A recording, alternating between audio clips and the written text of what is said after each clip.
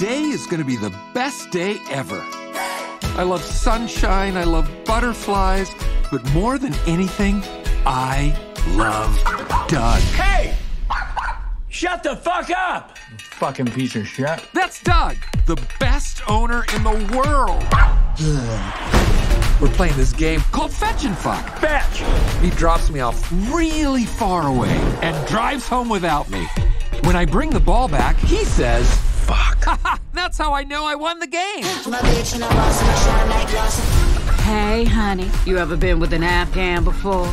I don't think so, but thank you.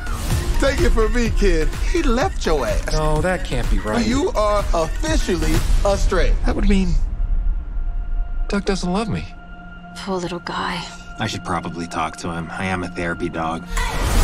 Reg, you can learn how beautiful it can be when you're off the leash. This beer is making me dizzy. It's about to get real dizzy up in this bitch. I'm having a great time. This motherfucker right here. What you want? Huh, Let's homie? go. You little bitch ass friend with the motherfucking home perm and shit. What did you just say? There you go, I would hate for this to get violent.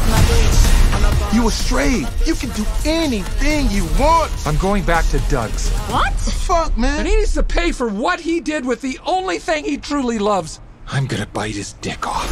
Oh. Wait, did he just say bye? Yeah, I, I'm still a little drunk, but I you gonna- said I'm gonna bite his dick off. Oh, we gon' fuck shit up. Motherfucker, you don't know me like that.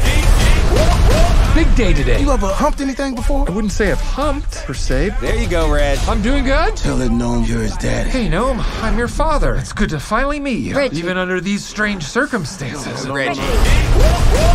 We're completely lost, and my little puppy paw pads are really hurting right now. So how exactly could this get worse? Holy fuck! Oh Oh shit. Guys, we've got a dick to rip off. Don't know me like that. What are those? Kinda looks like food. Oh shit. Uh, give me a second. You look different. Shit, you look different too. How so? Is it my human hands?